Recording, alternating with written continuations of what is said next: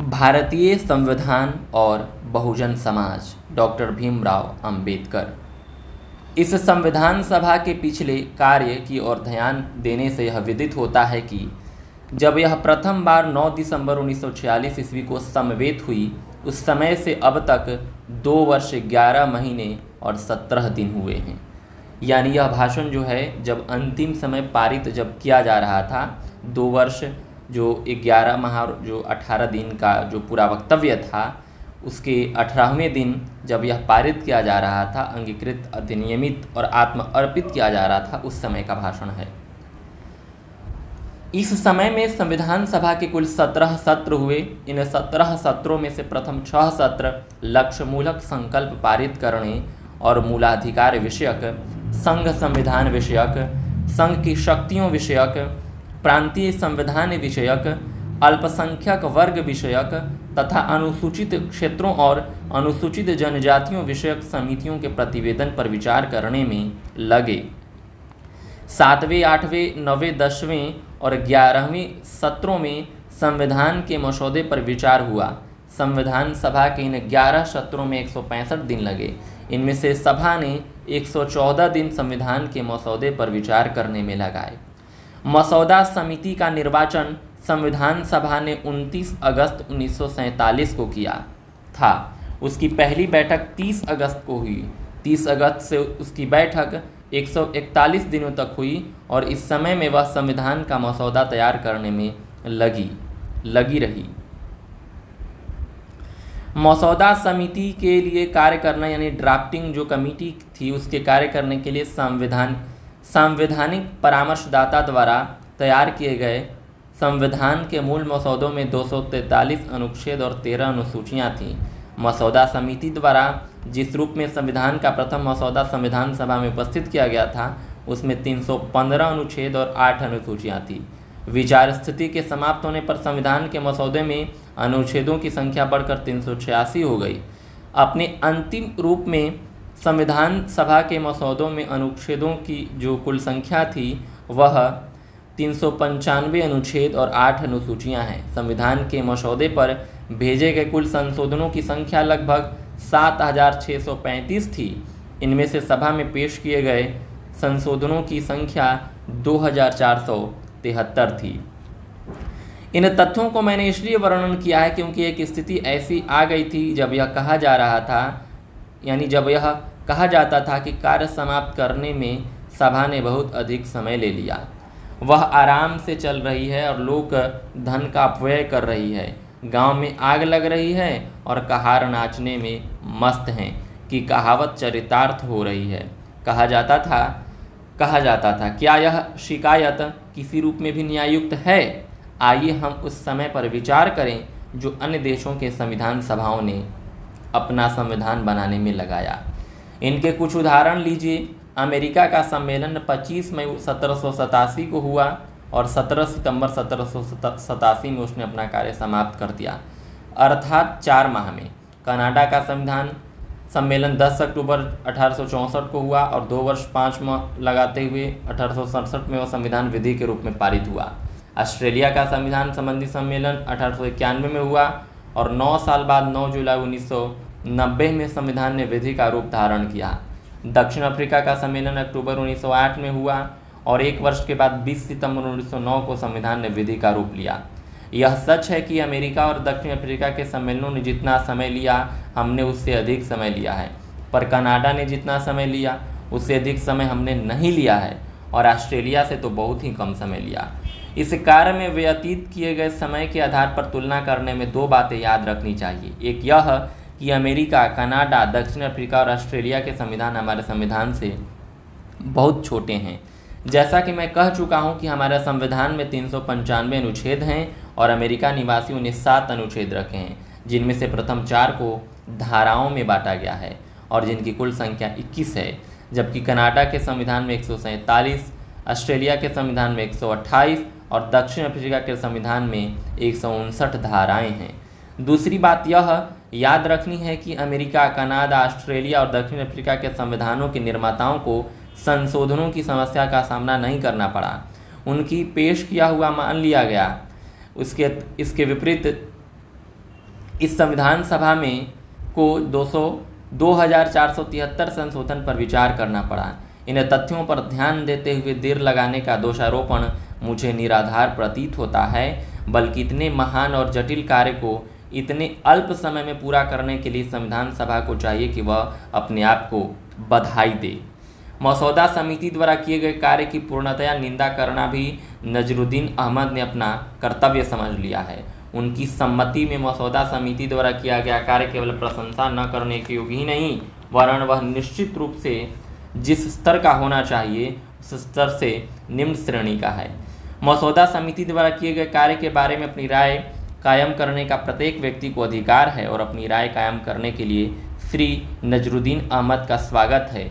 श्री नजरुद्दीन अहमद समझते हैं कि मसौदा समिति के किसी भी व्यक्ति की अपेक्षा उनमें बुद्धिबल अधिक है।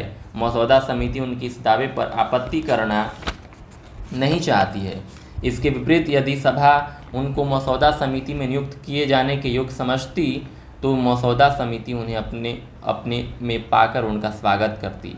यह संविधान सभा के निर्माण करने में उन्होंने कोई स्थान नहीं मिला तो निश्चय ही इसमें मसौदा समिति का कोई दोष नहीं है। यह स्पष्ट है कि मसौदा समिति के प्रति अपनी घृणा प्रकट करने के लिए श्री नजरुद्दीन अहमद ने उसका नया नाम गढ़ाया कि वह विषयांतर करने वाली समिति है। श्री नजरुद्दीन अहमद अवश्य अपनी सूझ से प्रसन्न होंगे, पर वे यह नहीं जानते हैं कि कौशल सहित विषयांतर करने और कौशल रहित विषयांतर करने में अंतर है। यदि मसौदा समिति ने विषयांतर किया तो वह परिस्थितियों का पूर्ण ज्ञान प्राप्त किए बिना नहीं किया। उसने अकस्मात मछली पकड़ने के लिए बंसी नहीं फेंकी।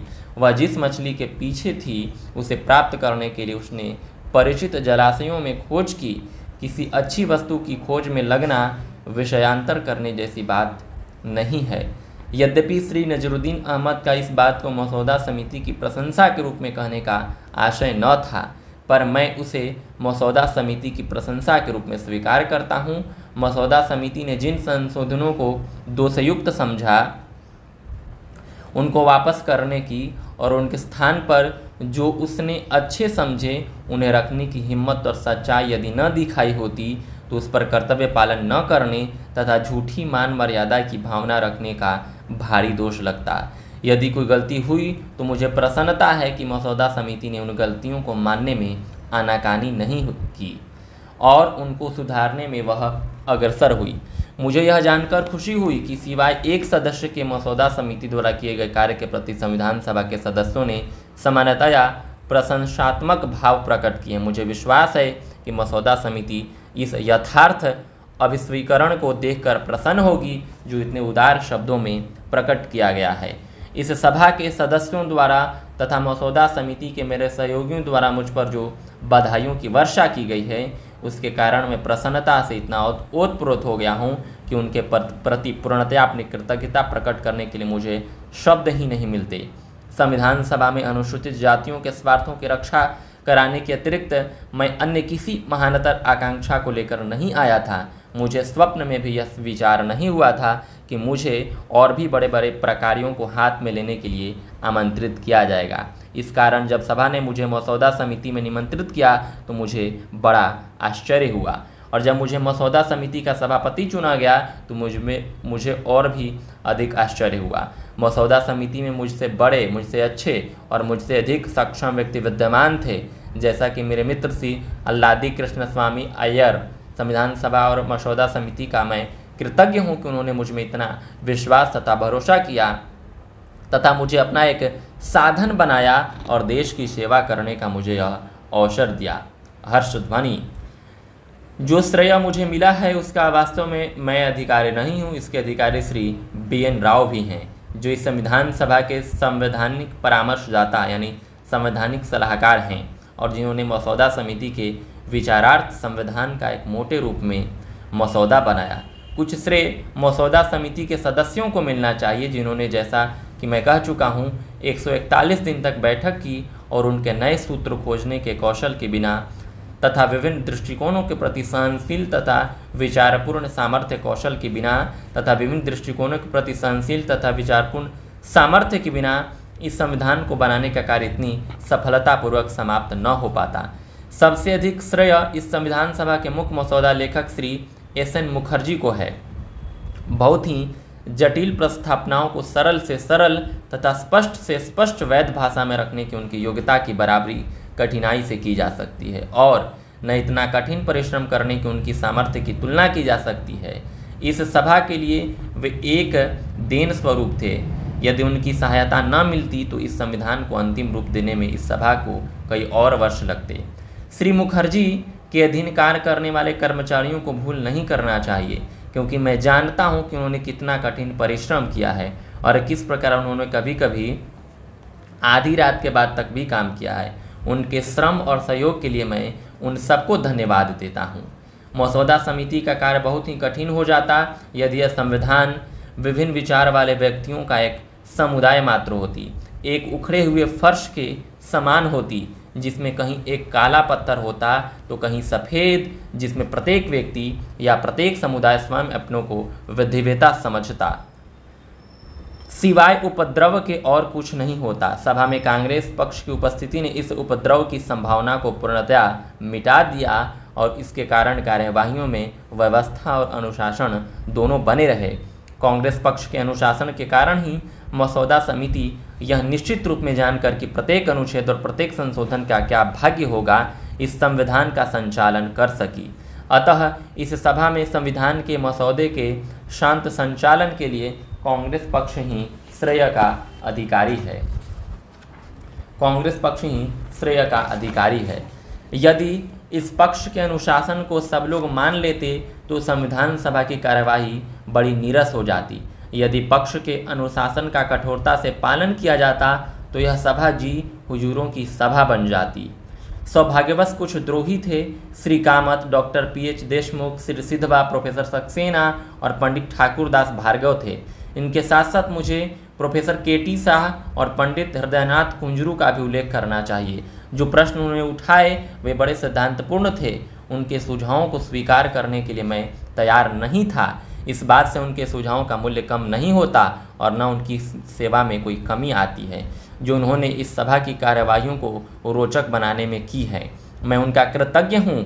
यदि वे न होते तो मुझे वह अवसर नहीं मिलता, जो मुझे इस संविधान सभा में निहित सिद्धांतों की व्याख्या करने के लिए मिला, और जो इस संविधान के पारित करने के यंत्रवत कार्य की अपेक्षा अधिक महत्वपूर्ण था। अंत में अध्यक्ष महोदय, मुझे आपको धन्यवाद देना चाहिए। कि आपने बड़ी कुशल रीति से इस सभा की कार्यवाहियों का संचालन किया। जिन लोगों ने इस सभा की कार्यवाहियों में भाग लिया है, वे उदारता और सहृदयता को नहीं भूल सकते हैं कि जो आपने सभा के सदस्यों के साथ प्रदर्शित की। ऐसे अवसर आए, जबकि केवल पारिभाषिक आधार पर मसौदा समिति के संशोधनों को रोकने का प्रयास किया गया, मेरे लिए वे बड़े चिंतापूर्ण क्षण थे। मैं आपकी, आपका इस बात के लिए बड़ा कृतज्ञ हूँ कि आपने विधिवाद की संविधान निर्माण कार्य पर विजय नहीं होने दी।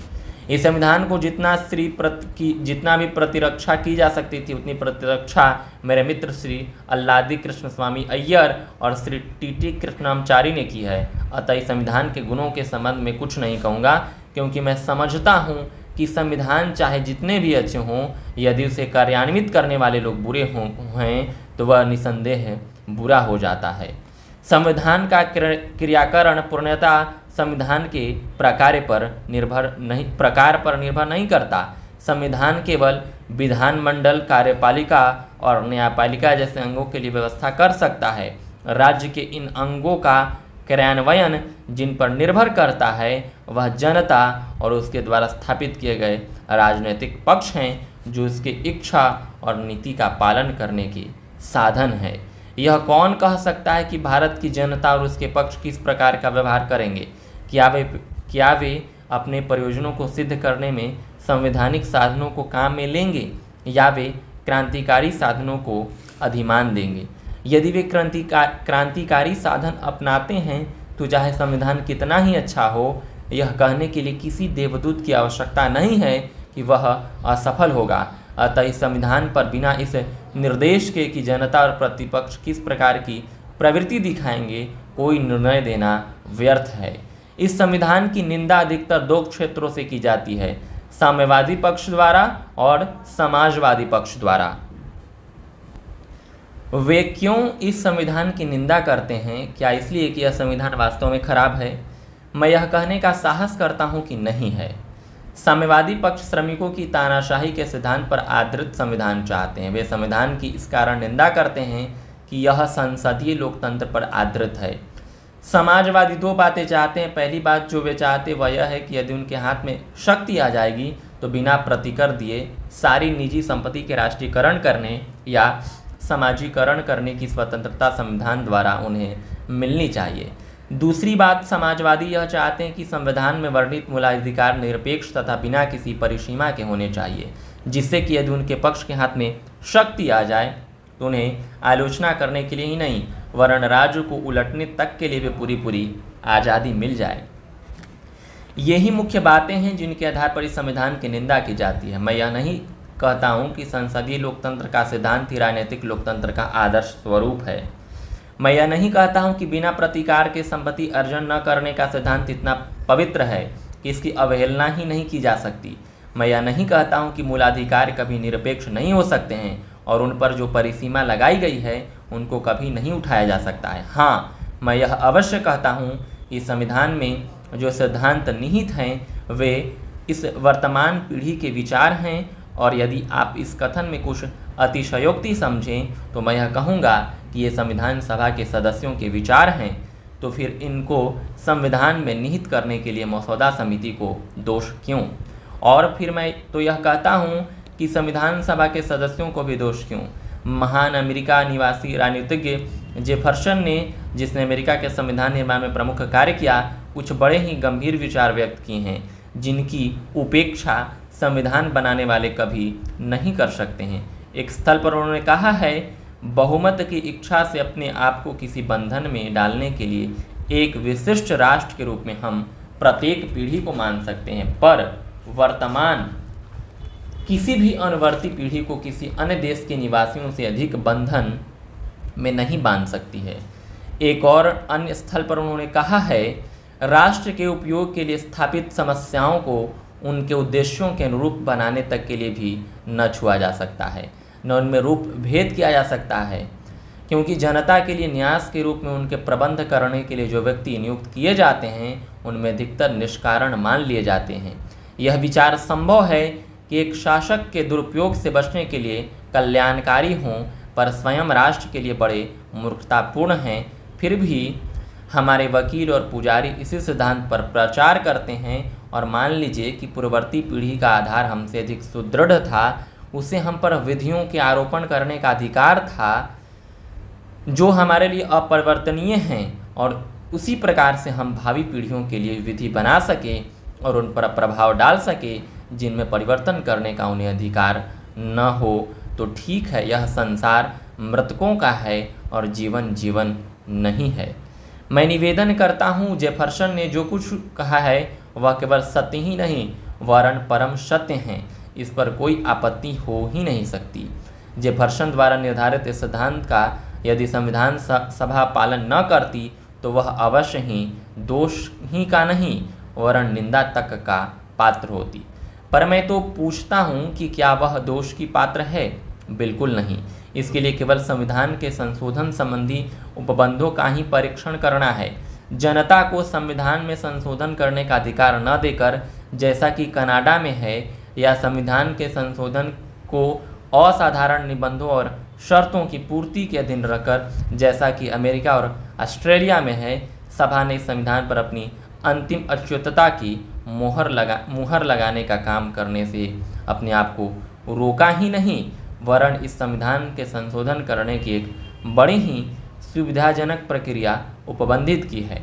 इस संविधान के किसी भी आलोचक को मैं यह चुनौती देता हूँ कि वह सिद्ध करें कि संसार में कहीं भी किसी संविधान सभा ने उन परिस्थितियों में जिनमें यह देश फंसा हुआ है, संविधान के संशोधन के लिए इतनी सुविधाजनक प्रक्रिया उपबंधित की हो।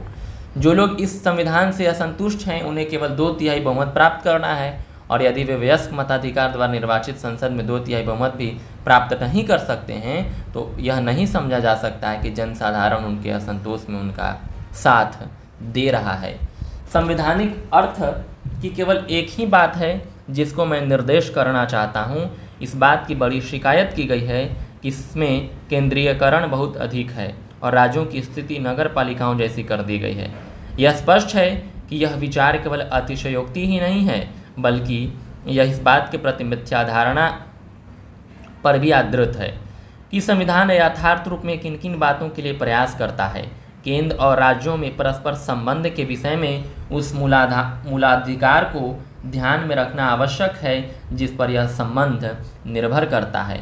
फेडरल शासन पद्धति का यह मूल सिद्धांत है कि विधायी और कार्यपालिका प्राधिकार का विभाजन केंद्र और राज्यों में केंद्र द्वारा निर्मित किसी विधि द्वारा नहीं होता वरण स्वयं संविधान द्वारा किया जाता है।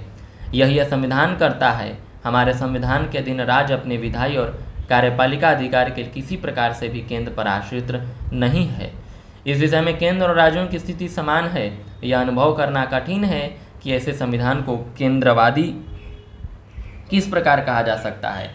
यह हो सकता है कि विधायी तथा कार्यपालिका प्राधिकार के प्रवर्तन के लिए केंद्र को जितना क्षेत्र किसी अन्य फेडरल संविधान में दिया गया है, उससे अधिक क्षेत्र इस संविधान में दिया गया है। यह हो सकता है कि अवशिष्ट शक्तियाँ केंद्र को दी गई हों और राज्य को न दी गई हों। पर फेडरल शासन पद्धति की मुख्य बातें ये नहीं है। जैसा कि मैं कह चुका हूँ, फेडरल शासन पद्धति की मुख्य बात यह है कि संविधान द्वारा केंद्र और एककों में विधायी तथा कार्यपालिका प्राधिकार का विभाजन हो। यह सिद्धांत हमारे संविधान में निहित है, इसमें कोई भ्रम हो ही नहीं सकता।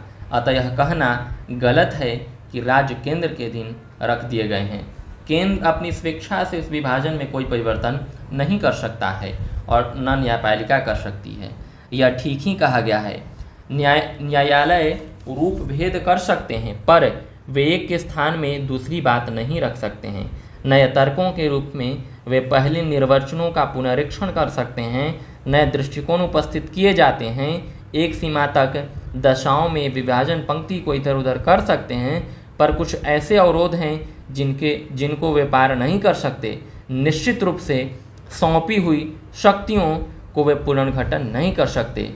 वर्तमान शक्तियों की वे एक व्यापक रूप योजना दे सकते हैं, पर किसी प्राधिकार में स्पष्ट रूप में दी गई शक्ति को वे किसी अन्य प्राधिकार को नहीं सौंप सकते हैं। अतः केंद्रीयकरण के संबंध में लगाया गया प्रथम अभियोग जो फेडरेशन को निर्मूल करता है, सिद्ध नहीं होगा। दूसरा अभियोग यह है कि केंद्र को राज्यों पर अतिक्रमण करने का अधिकार दिया गया है। इस अभियोग को स्वीकार कर लेना चाहिए, पर इन अतिक्रमणकारी शक्तियों के होने के कारण इस संविधान की निंदा करने से पूर्व कुछ बातों पर ध्यान देना चाहिए। पहली बात यह है कि ये अतिक्रमणकारी शक्तियाँ इस संविधान का शांतिकालीन रूप नहीं है। उनका प्रयोग और प्रवर्तन स्पष्ट रूप से केवल आपात के लिए ही सीमित है। दूसरी बात यह है कि क्या हम आपात हो जाने पर केंद्र को अतिक्रमणकारी शक्ति देने का वर्जन कर सकते थे? जो लोग आपात में भी केंद्र को इन आक्रमणकारी शक्तियों को देने में औचित्य को स्वीकार नहीं करते हैं, वे ऐसा प्रतीत होता है कि इस विषय के मूल में जो समस्या है, उसका स्पष्ट ज्ञान नहीं रखते हैं। दी राउंड टेबल प्रसिद्ध पत्रिका के दिसंबर उन्नीस सौ पैंतीस के अंक में एक लेखक ने इस समस्या को स्पष्ट रूप में दिया है और उसके निम्नलिखित उदाहरण को उद्धृत करने के लिए मुझे क्षमा याचना की आवश्यकता नहीं है। लेखक कहता है राजनीतिक पद्धतियाँ अंततः इस प्रश्न पर निर्भर करती हुई कि किस के प्रति या किन प्राधिकारों में नागरिक निष्ठा रखे, अधिकार और कर्तव्य की एक गुत्थी है। शांतिकाल में यह प्रश्न उपस्थित नहीं होता क्योंकि विधि सरलतापूर्वक क्रियान्वित होती रहती है और व्यक्ति कुछ विषयों में एक प्राधिकारी की और कुछ में किसी अन्य प्राधिकारी की आज्ञा पालन करता हुआ अपना कार्य करता चलता है। पर संकट काल में हो सकता है कि प्राधिकार विषयक दावों में संघर्ष हो जाए और उस समय स्पष्ट हो जाती है कि वस्तुतः निष्ठा का विभाजन नहीं हो सकता है। निष्ठा का यह वाद हेतु इस अंतिम रूप में किसी न्यायमंडल की विधि निर्वचन द्वारा निश्चित नहीं किया जा सकता। विधि को तथ्य के अनुरूप होना चाहिए और यही विधि का दोष है। जब इन सब बातों को दूर कर दिया जाता है तो केवल यह प्रश्न रह जाता है कि कौन प्राधिकारों यानी कौन प्राधिकारी नागरिक की अवशिष्ट निष्ठा का अधिकारी है? केंद्र अधिकारी है या संघटक राज्य? इस समस्या का हल इसी प्रश्न के उत्तर पर निर्भर करता है जो इस समस्या पर सारभूत प्रश्न है। इसमें संदेह नहीं हो सकता कि जनता के एक विशाल भाग की सम, सम यानी सम्मति के लिए सम्मति के अनुसार आपातकाल में नागरिक की अवशिष्ट राजभक्ति केंद्र के प्रति होनी चाहिए, न कि संघटक राज्य के प्रति। क्योंकि केंद्र ही सार्वजनिक लक्ष्य के लिए तथा समूचे देश के सामान्य हित के लिए प्रयत्नशील हो सकता है। आपातकाल में प्रयोग करने के लिए केंद्र को कुछ अतिक्रमणकारी शक्तियाँ देने के पक्ष में यह प्रमाण है और फिर आपात शक्तियों द्वारा संघटक राज्यों पर क्या भार डाले जाते हैं? इससे अधिक और कुछ नहीं कि आपात में अपने स्थानीय हितों के साथ साथ समूचे राष्ट्र की सम्मति और हितों का भी विचार किया जाए। केवल वे ही लोग इसके प्रति शिकायत कर सकते हैं जिन्होंने इस समस्या को समझा नहीं है। यहाँ मैं अपना भाषण समाप्त कर देता, पर मेरा मस्तिष्क अपने देश के भविष्य विषयक विचारों से इतना परिपूर्ण है कि मैं अनुभव करता हूँ कि इस अवसर पर, विषय पर मैं अपने विचार को व्यक्त करूँ। 26 जनवरी 1950 को भारत एक स्वतंत्र देश होगा। हर्षध्वनि उसकी स्वाधीनता का क्या परिणाम होगा? क्या वह अपनी स्वाधीनता की रक्षा कर सकेगा या उसको फिर खो देगा? मेरे मन में सर्वप्रथम यह विचार आता है। वह यह वह यह बात नहीं कि भारत कभी स्वाधीन न रहा हो। बात यह है कि एक बार वह पाई हुई स्वाधीनता को खो चुका है। क्या वह दोबारा भी उसे खो देगा? यही वह विचार है कि जिसके विषय में भविष्य के प्रति मैं बहुत चिंतित हूँ। जो तथ्य मुझे बहुत परेशान करता है, वह यह कि भारत ने पहले एक बार अपनी स्वाधीनता खोई ही नहीं वरण अपने ही कुछ लोगों की कृतघ्नता तथा फूट के कारण वह स्वाधीनता आई गई हुई। मोहम्मद बिन कासिम द्वारा सिंध पर आक्रमण करते समय दाहर राजा के सेनापति ने मोहम्मद बिन कासिम के अभिकर्ताओं में, अभिकर्ताओं से घूस ले ली और अपने राजा की ओर से युद्ध करने से मना कर दिया। वह जयचंद था जिसने मोहम्मद गोरी को भारत पर आक्रमण करने और पृथ्वीराज से युद्ध करने के लिए निमंत्रण दिया और अपनी तथा सोलंकी राजाओं की सहायता का वचन दिया। जब शिवाजी हिंदुओं की मुक्ति के लिए युद्ध कर रहा था, उस समय अन्य मराठा सरदार और राजपूत राजा मुगल बादशाहों की ओर से युद्ध कर रहे थे। जब अंग्रेज़ सिख शासकों को मिटाने में लगे हुए थे, सिखों का मुख्य सेनापति गुलाब सिंह चुपचाप बैठा रहा और सिख राज को बचाने में उसने सहायता नहीं की। अठारह में जब भारत के एक विशाल भाग ने अंग्रेज़ों के विरुद्ध स्वाधीनता के संग्राम की घोषणा की तो मुख्य दर्शकों की भांति सीख खड़े खड़े तमाशा देखते रहे। क्या इसी इतिहास की पुनरावृत्ति होगी? इस विचार से मैं चिंतित हूँ। इस तथ्य के कारण कि जाति और मत मतांतर के रूप में हमारे प्राचीन दुश्मनों के साथ साथ हम विरोधी राजनीतिक मत मतांतर के आधार पर कोई राजनीतिक पक्ष बनाते चले जा रहे हैं। यह चिंता और भी अधिक उग्र रूप धारण कर लेती है क्या भारत मत मतांतरों को देश से श्रेष्ठ मानेंगे या देश के देश को मत मतांतरों से श्रेष्ठ मानेंगे? मैं इस बात को नहीं जानता हूँ पर यह सत्य है कि यदि वे इस पक्ष यानी वे वे ये पक्ष मत मतांतरों को दे, देश से श्रेष्ठ मानते हैं तो हमारी स्वाधीनता फिर संकट में पड़ जाएगी और संभवतः सदैव के लिए हाथ से जाती रहेगी। इस संकट से हम सबको दृढ़ होकर रक्षा करनी चाहिए। अपने खून की अंतिम बूंदों से अपनी स्वाधीनता की रक्षा करने के लिए हमें दृढ़ प्रतिज्ञ होना चाहिए। हर्ष ध्वनि। 26 जनवरी 1950 को भारत एक लोकतांत्रिक देश होगा। इसका यह अर्थ है कि उस दिन से भारत में जनता के लिए जनता द्वारा जनता की सरकार होगी। यही विचार फिर से मेरे मस्तिष्क में आता है। उस, उसके इस लोकतांत्रिक संविधान का क्या होगा? क्या वह इसकी रक्षा कर सकेगा? या इसको फिर खो देगा। यह दूसरा विचार है जो मेरे मन में उत्पन्न होता है और मुझे पहले विचार की भांति व्यतीत व्यथित करता है। यह बात नहीं है कि भारत लोकतंत्र की, को जानता ही न था। एक समय जब भारत गणराज्यों से सुसज्जित था और जहाँ राजा थे, वहाँ भी या तो वे निर्वाचित होते थे या उनके अधिकार सीमित रहते थे। उनको परमाधिकार प्राप्त न होते थे। यह बात नहीं है कि भारत संसद या संसदीय प्रक्रिया से परिचित न था। बौद्ध भिक्षु संघ के अध्ययन से विदित होता है कि केवल संसद ही नहीं था, संघ, बौद्ध भिक्षु संघ के अध्ययन से विदित होता है कि केवल संसद ही नहीं था, संघ संसद के अतिरिक्त और कुछ नहीं होते थे। वरण आधुनिक युग में संसदीय प्रक्रिया के जितने भी नियम हैं, उन सबसे ये संघ परिचित थे। उनके यहाँ बैठने के प्रबंध संबंधी नियम, प्रस्तावों, संकल्पों, गणपूर्ति उन्मोदक मतगणना श्लाका द्वारा मतदान, अविश्वास प्रस्ताव पहले निर्णय हुए अभियोग इत्यादि संबंधी नियम थे। यद्यपि बुद्ध इन नियमों को संघ की बैठकों में लागू करते थे, पर उन्होंने इन नियमों को देश की तत्कालीन राजनीतिक सभाओं में प्रचलित नियमों में से लिया होगा। भारत से यह लोकतांत्रिक व्यवस्था मिट गई। क्या फिर इस व्यवस्था को मिटा देगा? मैं नहीं जानता। पर भारत जैसे देश में जहाँ लोकतंत्र के एक दीर्घकाल से अप्रयुक्त करने अप्रयुक्त करने से यह एक नई सी वस्तु समझी जाती है, संभवतया लोकतंत्र के स्थान पर तानाशाही से के होने का संकट वर्तमान है। यह बहुत कुछ संभव है कि यह नवजात लोकतंत्र अपना स्वरूप बनाए रखे, पर वास्तव में अपने स्थान पर तानाशाही की स्थापना कर दे। यदि कोई दुर्घटना होती है तो दूसरी संभावना के साकार होने की अधिक आशा है। यदि हम लोकतंत्र को केवल रूप में ही नहीं, वरण यथार्थ में बनाए रखना चाहते हैं तो हमें क्या करना चाहिए? मेरे विचारानुसार सबसे पहले हमें यह करना चाहिए कि अपने सामाजिक और आर्थिक उद्देश्यों की पूर्ति के लिए हम संवैधानिक रीतियों को दृढ़तापूर्वक अपनाएँ। इसका अर्थ यह है कि क्रांति की निर्मम रीतियों का हम परित्याग करें। इसका अर्थ यह है कि सविनय अवज्ञा, असहयोग और सत्याग्रह की रीति का हम परित्याग करें। आर्थिक तथा सामाजिक उद्देश्यों की पूर्ति के लिए जब कोई मार्ग न रहे, तब तो इन असंवैधानिक रीतियों का अपनाना बहुत कुछ रूप में न्यायपूर्ण हो सकता है। पर जब संवैधानिक रीतियों का मार्ग खुला हुआ है तो इन असंवैधानिक रीतियों का अपनाना कभी न्याय संगत नहीं हो सकता है। ये रीतियाँ अराजकता के सूत्रपात के अतिरिक्त तो और कुछ नहीं है, जितना शीघ्र इनका प्रत्याग किया जाए, उतना ही हमारे लिए अच्छा है।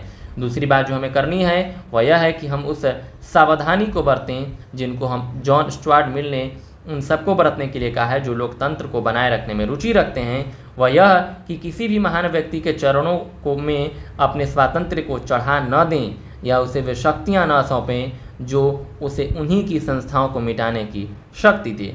महान व्यक्तियों के प्रति, जिन्होंने जीवन पर्यंत देश की सेवा की हो, कृतज्ञ होने में कोई बुराई नहीं है, पर कृतज्ञता की भी सीमा है। आयरलैंड के देशभक्त डोनियल ओ ओकोनेल ने इस विषय में ठीक ही कहा है, अपने सम्मान को खोकर कोई पुरुष कृतज्ञ नहीं हो सकता अपने सतित्व को खोकर कोई स्त्री कृतज्ञ नहीं हो सकती और अपने स्वातंत्र को खोकर कोई राष्ट्र कृतज्ञ नहीं हो सकता। किसी अन्य देश की अपेक्षा भारत के लिए यह चेतावनी अधिक आवश्यक है, क्योंकि भारत में भक्ति, या जिसे भक्ति मार्ग या वीर पूजा कहा जाता है, उसका भारत की राजनीति में इतना महत्वपूर्ण स्थान है कि जितना किसी अन्य देश की राजनीति में नहीं है। धर्म में भक्ति आत्ममोक्ष का मार्ग हो सकती है, पर राजनीति में भक्ति या वीर पूजा, पतन तथा अंततः तानाशाही का एक निश्चित मार्ग है। तीसरा काम जो हमें करना है वह यह है कि केवल राजनीतिक लोकतंत्र से ही हम, हमें संतुष्टि नहीं हो जानी चाहिए। अपने राजनीतिक लोकतंत्र को हम सामाजिक लोकतंत्र का रूप भी देना चाहिए हमें। सामाजिक लोकतंत्र का क्या अर्थ है? इसका अर्थ जीवन के उस मार्ग से है जो स्वातंत्र्य समता और बंधुत्व को जीवन के सिद्धांतों के रूप में अभिज्ञात करता है। स्वातंत्र, समता और बंधुत्व के इन सिद्धांतों को इन तीनों के एक संयुक्त रूप से पृथक पृथक मदों के रूप में नहीं समझना चाहिए।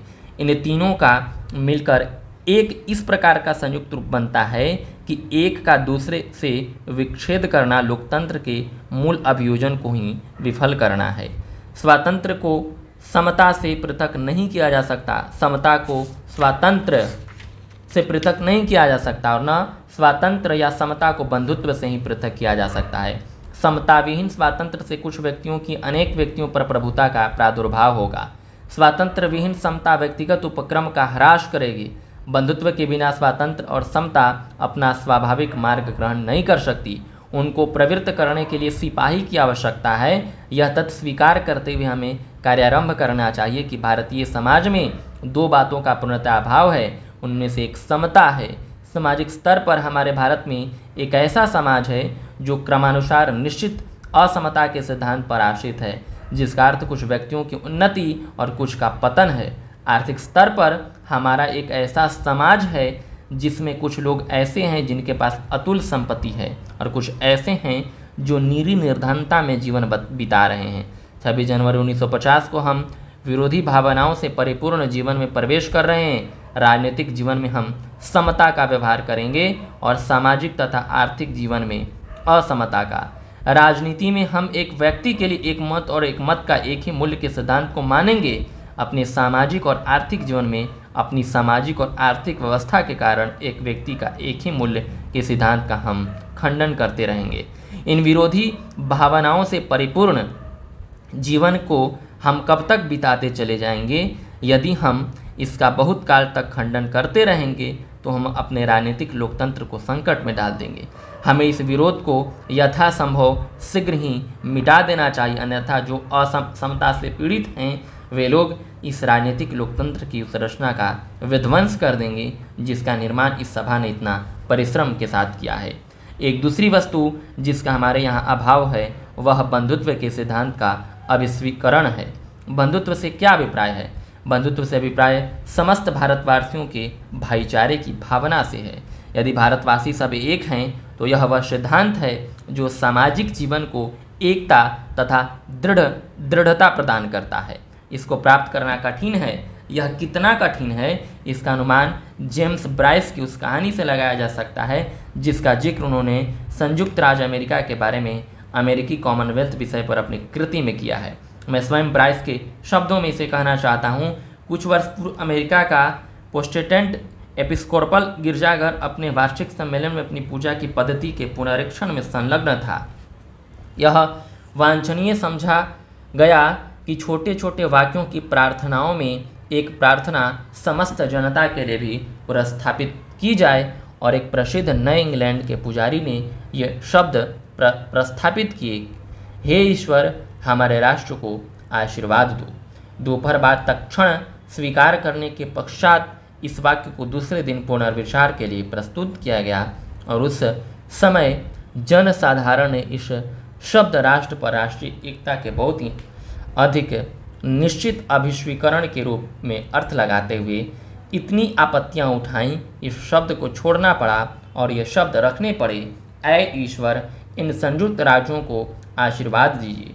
संयुक्त राज्य अमेरिका में उस समय जब यह घटना हुई थी, तब इतना कम ऐक्य भाव था कि अमेरिका के लोग यह नहीं समझते थे कि उनका एक राष्ट्र है। यदि संयुक्त राज्य अमेरिका के लोग यह नहीं सोच सकते थे कि उनका एक राष्ट्र है तो भारतवासियों के लिए यह सोचना कितना कठिन है। उनका एक राष्ट्र है। मुझे वे दिन याद हैं जबकि राजनीति में दखल करने वाले भारतवासी भारत भारत की जनता शब्दों पर आक्रोश प्रकट करते थे। वे भारतीय राष्ट्र शब्दों को अधिक चाहते थे। वे भारतीय राष्ट्र शब्दों को अधिक चाहते थे। मेरी यह सम्मति है कि इस बात में विश्वास करके कि हमारा एक राष्ट्र है, हम एक बड़े मायाजाल में अपने आप को डाल रहे हैं। हज़ारों व्यक्तियों में बटी हुई जनता किस प्रकार एक राष्ट्र हो सकती है? जितना शीघ्र हम यह अनुभव कर लें कि अभी हम राष्ट्र शब्द के सामाजिक और मनोवैज्ञानिक अर्थ में राष्ट्र नहीं हैं, उतना ही हमारे लिए लाभदायक होगा। क्योंकि यह अनुभव कर लेने पर ही हम एक राष्ट्र बनने की आवश्यकता का अनुभव करेंगे। इस लक्ष्य को प्राप्त कर, करने के मार्ग और साधनों के बारे में वे गंभीर चिंतन विचार करेंगे। इस लक्ष्य की प्राप्ति बहुत कठिन है। संयुक्त राज्य अमेरिका में जितनी कठिन थी, उससे कहीं अधिक कठिन है। संयुक्त राज्य अमेरिका में जातीय समस्या न थी। भारत में जातीय भारत में जातियाँ हैं।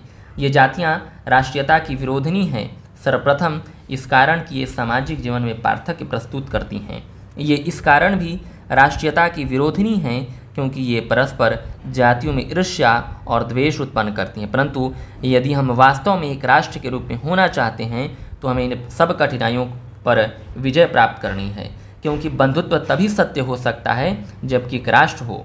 बंधुत्व के बिना समता और स्वातंत्र की जड़ उतनी ही गहरी हो सकेगी जितनी रंग की सतह की जड़ होती है।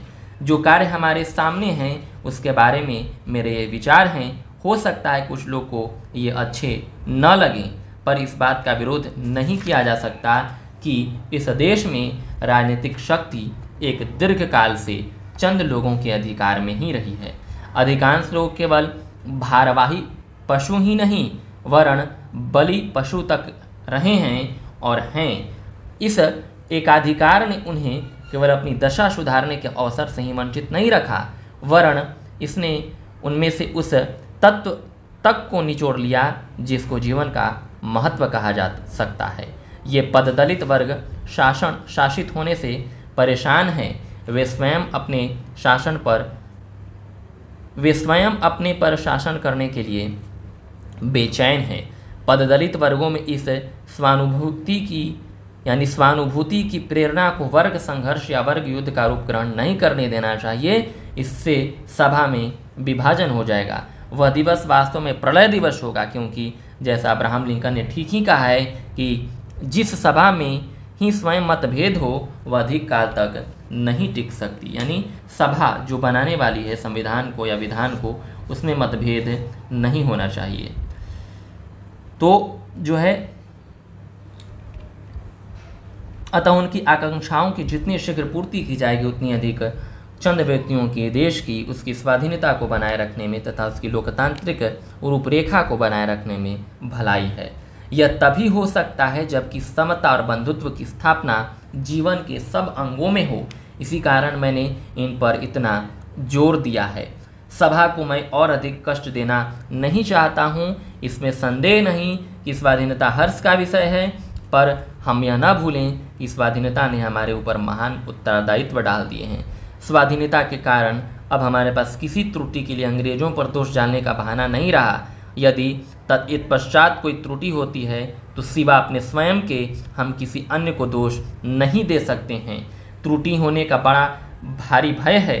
काल बड़ी तीव्र गति से बदलता, चलता रहा है। जनता, जिसमें हमारे देश की जनता भी शामिल है, नई विचारधाराओं से प्रभावित हो रही है, जनता द्वारा शासन से वह परेशान होती चली जा रही है। वह जनता के लिए सरकार बनाने के लिए तैयार है और इस बात के प्रति उदासीन है, चाहे वह जनता की जनता द्वारा सरकार हो या न हो। यदि हम इस संविधान का रक्षण करना चाहते हैं, जिसमें हमने जनता के लिए, जनता द्वारा जनता की सरकार के सिद्धांत की प्रतिष्ठा करने का प्रयास किया है तो हम इस बात का संकल्प करें कि बुराइयाँ हमारे मार्ग में हैं और जिनके कारण जनता जनता के लिए सरकार को, जनता द्वारा सरकार से अधिक पसंद करती है। उन बुराइयों को समझने में विलंब न करें और उन बुराइयों को दूर करने के उपक्रम में दौर्बल्य न दिखाएँ।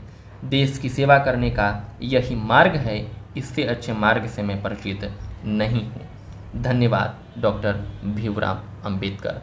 तो इस प्रकार हमने डॉक्टर भीमराव अंबेडकर का वह प्रसिद्ध ऐतिहासिक भाषण सुना, जो उन्होंने संविधान सभा के जो अंतिम दिन का जो बैठक था, उसमें यानी जो भारतीय संविधान दो वर्ष ग्यारह माह और अठारह दिन में बना था, उस अंतिम दिन में जो भाषण था, उसका अंश इसमें न सिर्फ़ संविधान का निचोड़ था, अतीत की स्मृतियाँ थीं और भावी भविष्य के आने की सुखबुगाहट थी और साथ ही साथ उन संकटों पर भी उन्होंने प्रकाश डाला था, जो हमारे सामने उपस्थित हो सकती थी। बहुत बहुत धन्यवाद।